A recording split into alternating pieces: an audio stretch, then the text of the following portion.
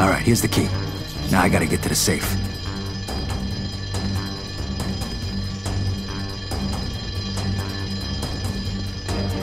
Oh.